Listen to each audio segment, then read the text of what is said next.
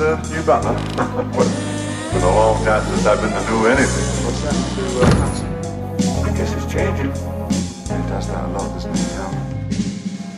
Oh, I'm David Bowie. I live down the road. Oh. So Percival lets me use his piano when he's not around. He's not around, is he? I can honestly say I haven't seen him, but come on in. Yes. What is it? Come on in. Are you related to Mr. Percival? Well, distantly, yes. Oh, you're not the, uh, no relation from America, right? Ah! Gee, news sure travels fast, doesn't it? I'm Bing. Oh, I'm pleased to meet you. You're the one that sings, right? Well, right or wrong, I sing either way. Well, I sing too. Oh, good. What kind of singing?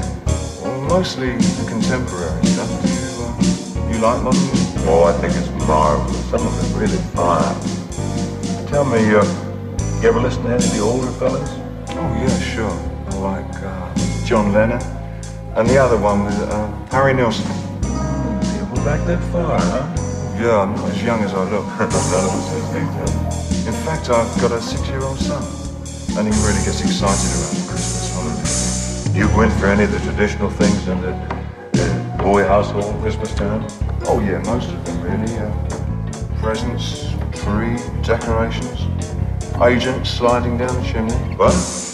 I was just seeing if you're paying attention.